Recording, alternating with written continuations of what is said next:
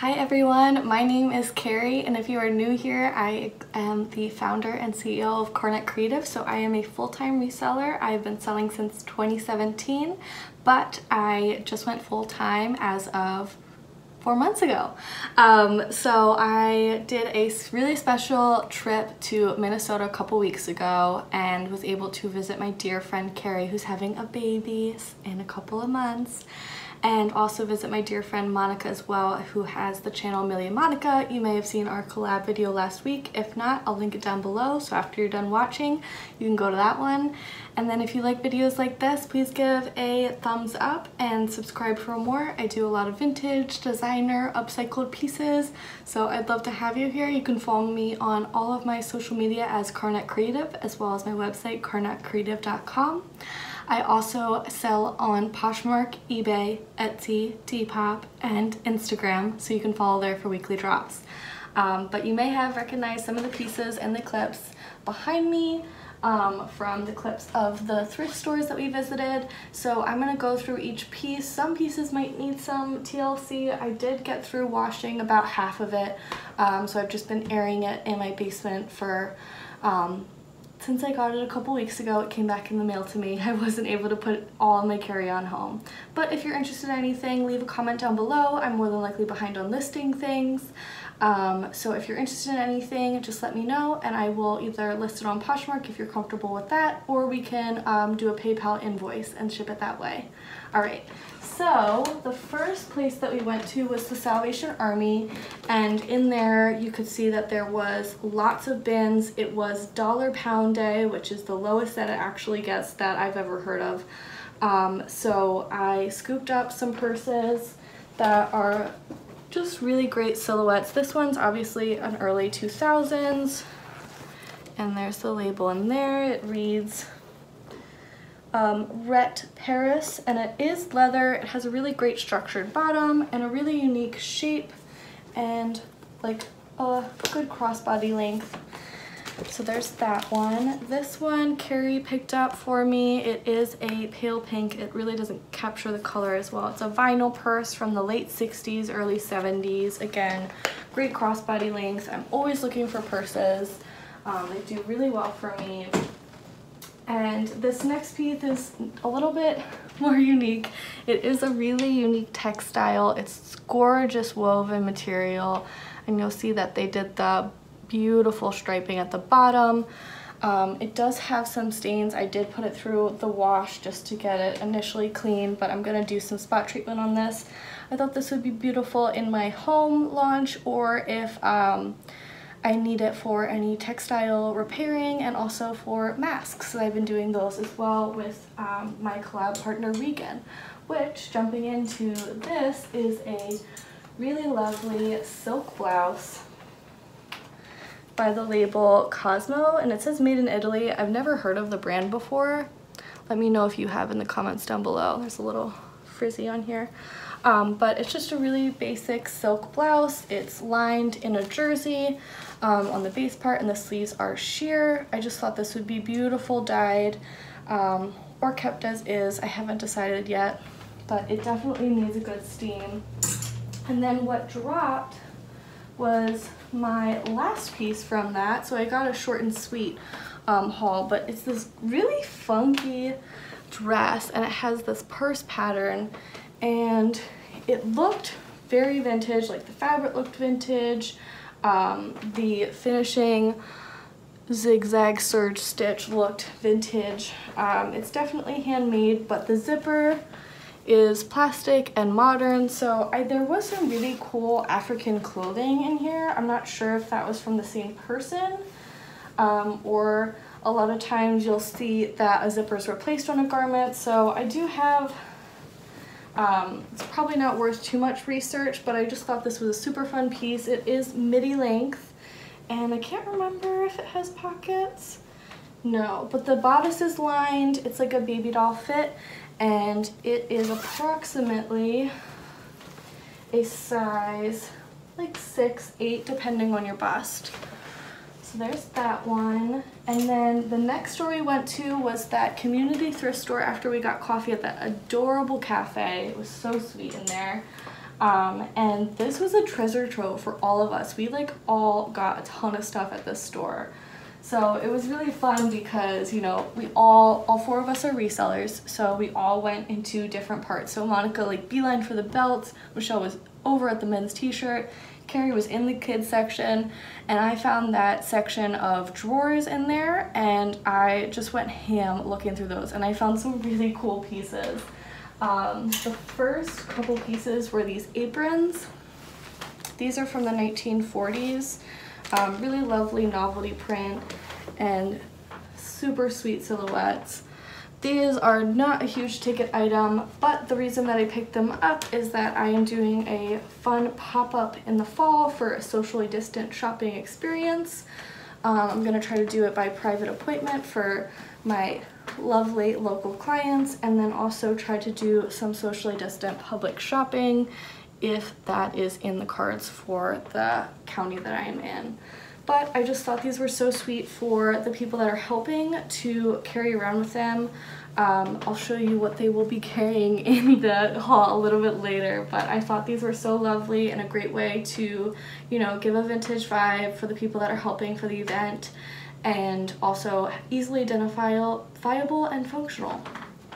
So that was there. And then also in that drawer, I found this really great bullet bra. And I will show the label here. I don't know if you can see it that well. Mm.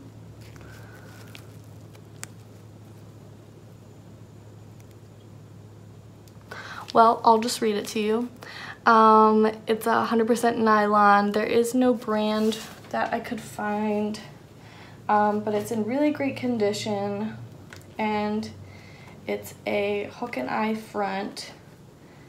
And then once you hook it, you can see that it's a very classic like balconette shape with the bullet shaped cups. So I know that these do well. I haven't sold them personally before. I've sold them through other shops that I've worked for, um, but I do really love this piece and I'm excited about that.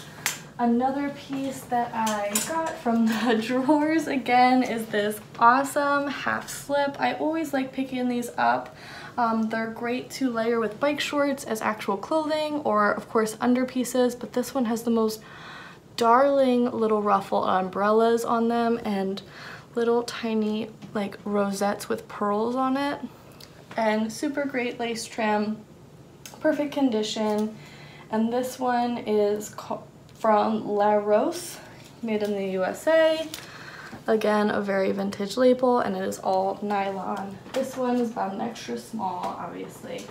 Um, and then I guess I'll do some accessories. So I saw this a couple times and I do show this in the video, but all I saw was this and I, I don't even think, I think I saw this side, they this side out and I had turned it and I found this 60s brooch. So I was like, oh, um, this really might actually be vintage and not like an Iranian garment. And I turned it and it had this beautiful millinery detail um, and then I found the label, which is obviously 60s and trimmed in silver. And the label is Helen Erickson. And this is just simply stunning. And a lot of times it was like, you know, worn over the shoulder with this like very Tudor styling look. But I do have to clean up the inside because it looks like my rack got some schmutz on it, but a little baby soap and this should be golden, but I just absolutely adore this piece. I'm gonna go pause it and I'll be right back because I'm gonna wash my hands because I don't want to get all the clothes. All right, I am back. Gonna take a quick sip of my seltzer. And you're golden and clean. Um, so for the other accessories is this beautiful lambskin leather 80s belt. Um, I try to pick up belts when I see them. Monica definitely scored the mother load, but she did leave some treasures for the rest of us. Um, I know Carrie's found a really cool beaded one as well. Um, but it just is a really great, simple statement, really well made, and just lovely. Then I inner drag queen was obsessed with this silver bucket bag. How gorgeous. I mean, not even studs, not even rhinestones. There's um, little like flowers and really great triangles and squares and it's just so so so fun and the back is plain it has a functional back pocket and the label is Diwali which I have heard of this before but I do have to get a refresher. Genuine leather made in the USA and it's so cool. I absolutely love it and I also have some other treasures from the finds here. Um, so this can be a shoulder bag or a crossbody and it has really great zipper compartments so all around super happy with this find um, I think the girls thought it was a little crazy but I know this will go to a good home so if you're interested prove me right and this one I think I'm gonna hold on to it for a bit um, it's, it's awesome straw bag and if you had seen what it looks like literally behind the camera right now I might just flip it real fast. I have two other, you'll get a, a brief dining room tour, two other straw bags sitting literally behind me. But I think I'm gonna keep this one and probably one of those still, but I do use these all the time. This was my carry-on bag back, but it's this gorgeous, and I believe it's Moroccan um, handcrafted leather tote. There are no labels in it. It is super sturdy, well made, and it's definitely a modern piece, but I am just simply in awe of it. So I was super excited by this find. But that is one of the pieces that I will be keeping for myself for now because it is an endless cycle. And then, oh, my accessories. I was at the register and I had spotted this dollar rack find of necklaces, but this is the one that I scooped up. It has this really like cool like faux abalone um, shell detail with gold clasps and the clasp is even lovely itself too. Um, but yeah, I thought this would be so beautiful for someone. I don't often pick up jewelry because I have quite a bit of a jewelry death pile. But that one had to be, that had to be scooped up. And then this piece is really, really lovely. This is a chain mail purse. Um, I would date this approximately mid 1910s to 1920s. Take out my little tag here. Um, you can see the lining is discolored, but it is in great condition. It is not shattering anywhere. And the chainmail is in beautiful condition. I don't usually find the chainmail in this large of a scale. So I'm probably going to either sew a small little loop of my antique thread or antique ribbon and make that little thread chain for that button there but I just thought it was so lovely, a great little piece, and I can't leave these little touching pieces of history behind. Oh my gosh, how great would this be as a necklace? so there's that one. And then this next piece is a 90s, talk about 100 years of fashion. Um, this is a 90s button front dress. It buttons up all the way down, they're completely functional, so I thought this would be great as a duster with shorts, with jeans halfway buttoned, um, of course a full-length maxi. This is a size 7, so a junior size, so I mean it, it would fit true to a size 6, size 8. There isn't too much stretch, and there is the label there nothing groundbreaking, um, but a great staple piece. And then this next one I just absolutely love. This is a very 1940s-esque dress made in the 1980s. And it is a pale pink, which you know has my heart. It has this gorgeous cow neckline, and it had the original belt and it was 50% uh, off so we definitely scooped that up. And everything's great condition. There's no cracking on the vinyl. This label is Polini von Bromlett and it has locations in LA, Milan, and New York, which is always a good sign. And it's polyester, of course, made in the USA, size 910. Um, it does have an elastic waist, so this one would probably be a 6-8 best. And then our next one, I always have a weakness for the moo The girls actually pulled this out and was like, oh, haha, Carrie, you would love this. And I did. Joke's on them. It's awesome. it's this beautiful poly 70s Mumu maxi caftan dress, house dress. There's so many terms you can use. It has two pockets, which usually sometimes is rare. It's usually a one pocket situation. Zip front partially, um, but I just thought this was so, so great. And great size, great condition. I didn't even hesitate to scoop that up. I simply adore this silk scarf. Again, in my death pile is Silk Nagi, so I need to do a live sale of that soon. But this is just so beautiful, so vibrant, and it is Thai silk. So it has that super fine shantung silk, like wool silk finish um, that you can see the fibers really well and made in Thailand, of course, but super stunning. I think this is like a, a 24 by 24, but I would have to measure. Um, and then the next piece I have is this really funky, I pulled this out from Michelle, given it to Carrie. Carrie gave it to Michelle. Michelle didn't want it. And I saw it on the rack and I said, all right, I need to get this thing. It's just following me around the store. It's so funky. It's very Moschino looking and suiting is very on trend for the fall and winter season, um, especially 80s, 90s style. It has these awesome multicolored buttons.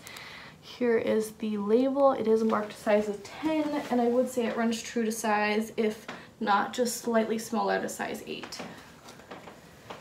Then that is the end of that haul. I'm just making sure I did everything there. And the next day we, um, so we went to the bins after that, and then the next day we went to a estate sale and it was actually way past, we had taken our time, we were doing a maternity shoot for Carrie, so we ended up missing the estate sale and the girls were gonna go into downtown to see the bridge to Wisconsin. And I said like, you know, if it's super close by, we might as well drive by. You never know if they have stuff out in the street to give away or if they're just trickling around. And we went by and you guys, did you see that awesome wicker rack? Like Monica scored the mother load. She got that rack, she got that awesome macrame table. I don't even know if I filmed it hanging up, but so beautiful.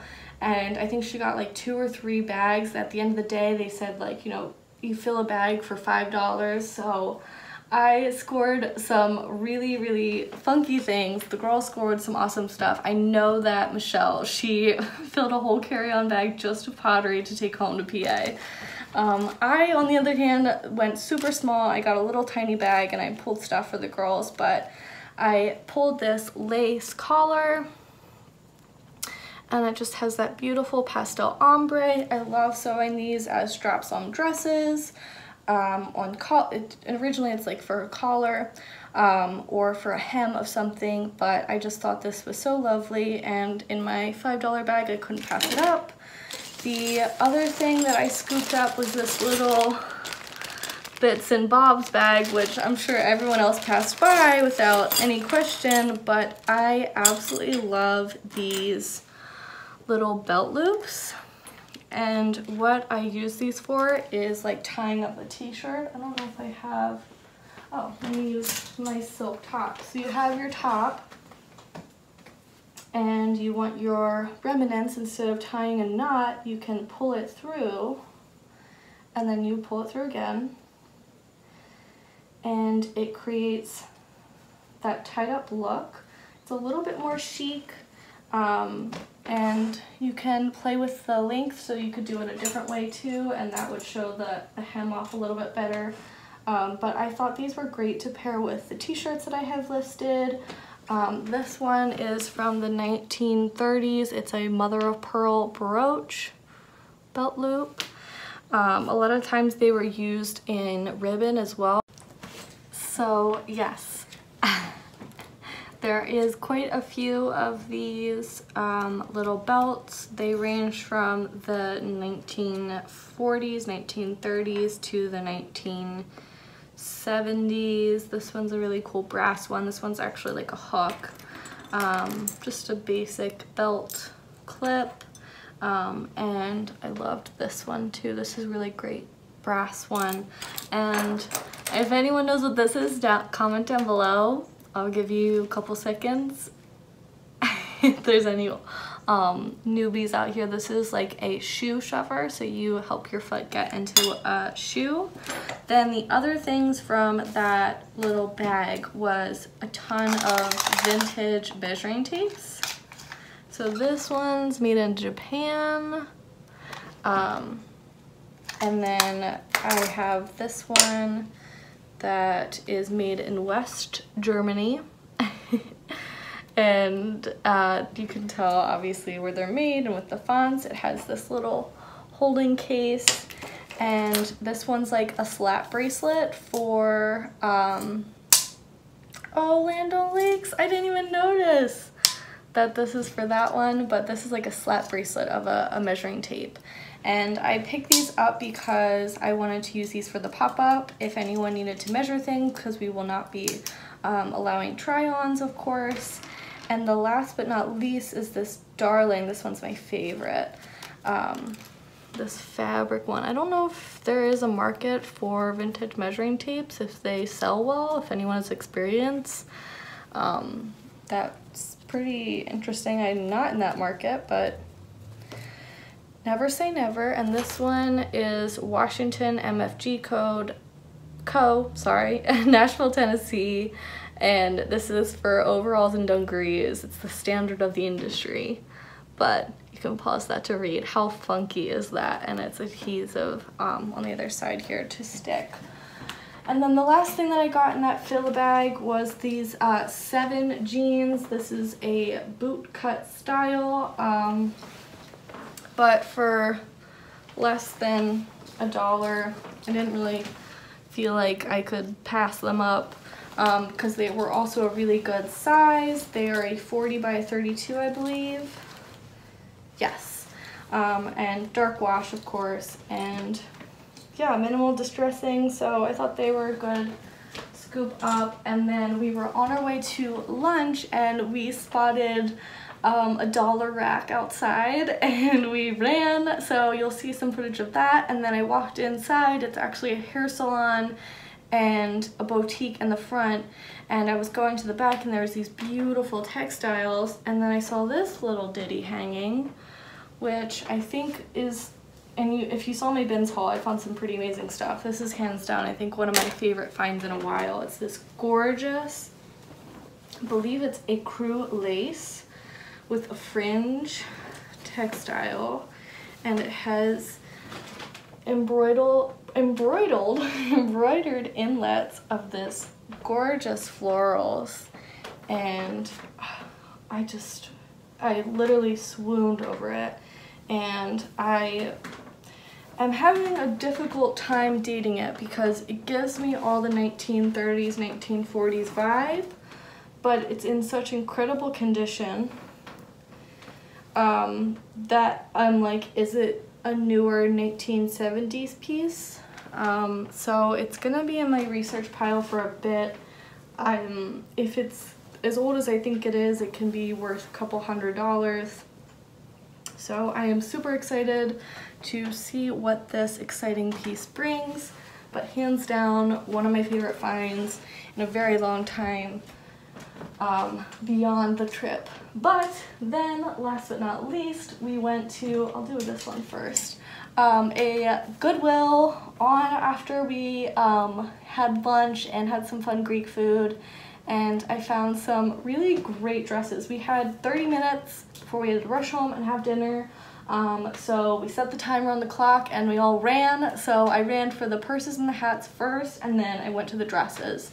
And I found this awesome LeMay um, woven 1980s dress. It is La Costa Spa, California, made in the USA. It is a size 14, so I don't know if I'm gonna keep it to wear it a couple of times, but it just is so lovely. It's like a tunic style button front. Would be so cute, like half buttoned and like sloppily tucked into shorts, but I just absolutely loved that piece. Then I scooped up this soft surroundings caftan. It gives me all the vintage vibes, super well made, and it is actually new with some of the tags. It has the care tag, um, and it is a petite, small, medium. and it has the stitching down the side, which was pretty traditional for vintage caftans to also give them some shape. So it is not super, super flowy, um, but it has this beautiful Turkish um, detail as well. And then you guys know I can't resist a slip dress. This will probably be in my keep pile for a bit. I absolutely love wearing these. It is a size large and it is late 90s but adjustable straps, great lace detail, beautiful champagne color, and I'm in love. and then I found not one, not two Jams World dresses. So I know that um, Caitlin City Thrifted on Instagram, she loves these dresses. I had never heard of them before until she had posted about them, but they do sell pretty well. Um, and you know, Monica went through this whole rack before I did and she found a ton of really cool pieces. I'm sure she's sewing them in some thrift hauls um, or you can go to her Poshmark closet, but she was literally like, oh my god, how did I miss these? And it just shows there's so much for everyone to find that literally I was going seconds behind her and still finding these pieces that worked for me. And this last piece is this polo patch dress um, from Ralph Lauren. And it does pretty well online. And I actually sold a Kappa dress very similar to this one with the navy blue polo style with patches to my friend Lauren who is a beautiful beautiful redhead model. And she totally killed this. So I'm probably gonna do a look-alike post on Instagram and hopefully this goes in a jiffy and it is a size medium. And then one of the best for last. I scooped up this awesome fedora and I got some schmutz on that rack, my goodness. So I'm gonna have to do a little bit of baby soap on this, but it is so lovely, felt, and then there is the inside. But really classic 60s style. Thought this would be so great for like the cool girl style. Um, and then I'm definitely not doing it justice. But the last piece from this haul, I can't believe we went through the whole thing. My phone like only quit four times. I'm like totally running out of storage, but that's a topic for another day. It's this 1960s with this really fun crown glitter bag. And then you can open it. The lining is in great condition. And then it has these levers so you can put the handle, top handle in and it becomes a clutch. But this was just so lovely and I'm so glad I can add it to the, the vintage purse haul. Um, but that is everything. Thank you if you watched it to the end. You are the best and let me know what your favorite piece is down below. Again, if you're interested in anything, just leave a comment. I will tag you in the Poshmark listing or send you a PayPal invoice. You can follow me over on Karnet Creative on Instagram, Poshmark, eBay, Etsy, and Depop. Thanks for watching and if you like videos like this, consider subscribing and giving this a thumbs up. Thanks so much for watching guys. Have a great day.